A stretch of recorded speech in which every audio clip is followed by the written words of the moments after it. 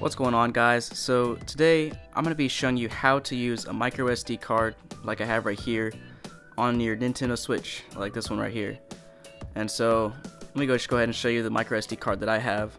So it came in this package actually, I already took it out, but it's basically a Samsung Evo 128 gigabyte card. So it's actually a, uh, one of the faster cards, so class 10 U3 you probably don't actually need one that's this fast for your Nintendo Switch, but I'll put a link to it in the description. It's from Amazon, and you know, the faster it is, the faster your console will be, so uh, it never hurts. Um, I'll put some other links to some other cards on Amazon as well. And you know, I think the I know the Nintendo Switch supports up to two terabyte uh, SD card. Now I'm sure you really don't need that because the Nintendo Switch games aren't quite that big. So you know, 128 gigabytes should be plenty for a, you know a long time. So that's what I have. It's what I recommend. I'll put some other SD card links in the description as well. And so here's the actual SD card.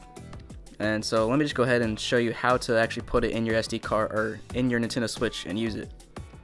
So it usually comes with these two things right here. So this one right here is the actual micro SD card and this right here is the SD adapter.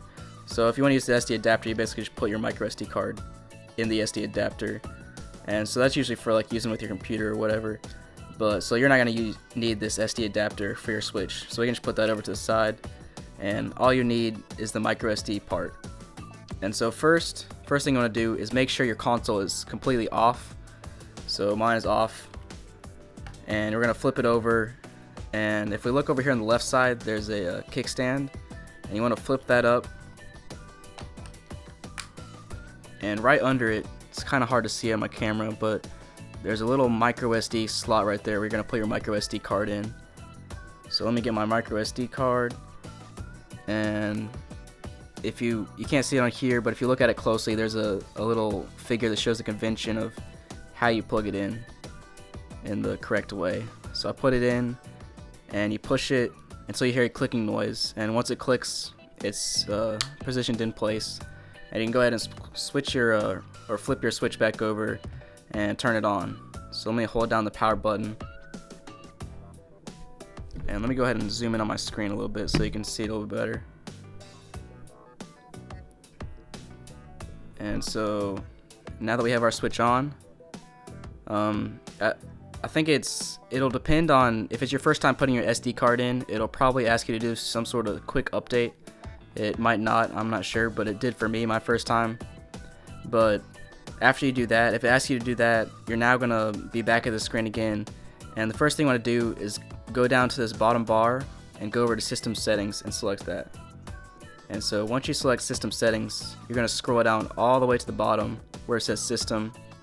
And then we're going to go over to the right and scroll all the way down again to this one tab where it says initialize.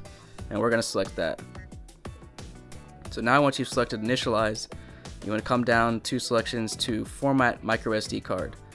And so let me warn you that if you have any other data on your microSD card, make sure you've either uh, transferred it to wherever you need it or you know if you don't need that data anymore then that's fine because it's gonna delete everything on your microSD card. So I'm gonna go ahead and select it. It's gonna give you, it's gonna warn you a few times that it's gonna go ahead and uh, delete whatever's on your microSD card that you're using. So warn me there, and it's warning me again. Warning me again. So one, yeah, data cannot data data cannot be restored once it's deleted. So you know, make sure there's nothing important on your micro SD card. So now my micro SD card has been formatted, and now the console is restarting, which is pretty standard practice. Fortunately, the Nintendo, the Nintendo Switch does not take very long to restart, unlike you know some other consoles like PS4 and Xbox, that sort of thing. So now you have it on and your micro SD card is good to go. So I'm not going to delve into how to use it too much, but I'm going to show you basically you know where you can see your micro SD card and see how much is on your uh, how much memory you have. So I don't know why I scroll down here first. You actually need to go to system settings and scroll down to data management. And as you can see, you now have two slots up here. So system memory that's your free space, and micro SD card, that is your free space. So I have 119 gigabytes of free space on my micro SD card. And so there's a few other things you can do with your SD card, like uh, transferring games, that sort of thing. but I'm not to go into that in this video. I'll probably make another video with, uh, on some specific techniques for transferring uh, uh, games and that sort of thing.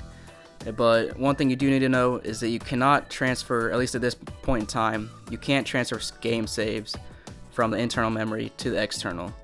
It's always, your game saves are always going to be on your internal. Basically all you can do is come down to manage uh, screenshots and you can you can transfer screenshots uh, from system memory to your micro SD card pretty easily.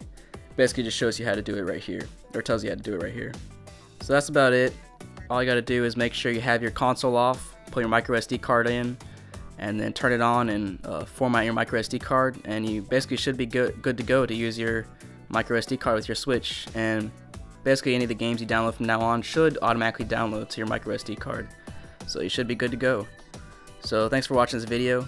If you liked it, make sure to leave a thumbs up and subscribe for future videos with like this one. And hope you guys have a great day.